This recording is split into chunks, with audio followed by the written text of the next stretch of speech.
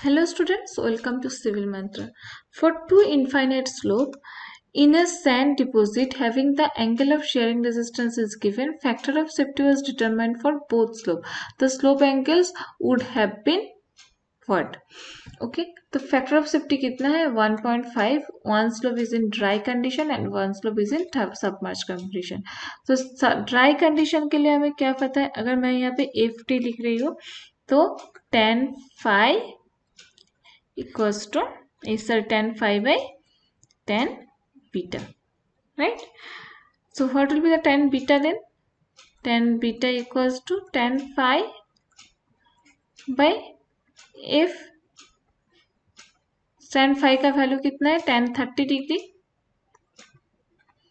and F is one point five so what will be the value of beta beta मैं यहाँ पे मैं dry dry लिख रही हूँ, डी से डिनोट कर रही हूँ, beta will be twenty one point zero five degree.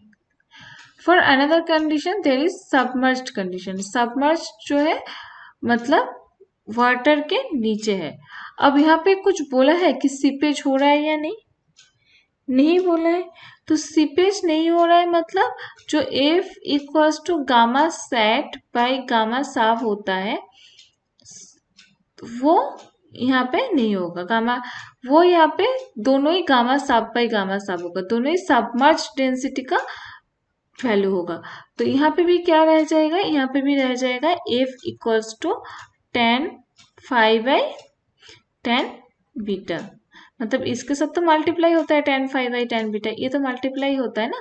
तो ये वन हो गया तो ये रह जाएगा tan phi by tan beta same है। तो यहाँ पे भी बीटा सबमर्स्ड क्या हो जाएगा? Twenty one point zero five degree the value will change if there will be the there will some seepage if there is nothing seepage then for both the condition submerged and dry slope the angle of beta will be the same. So it's also easy question. Thank you for watching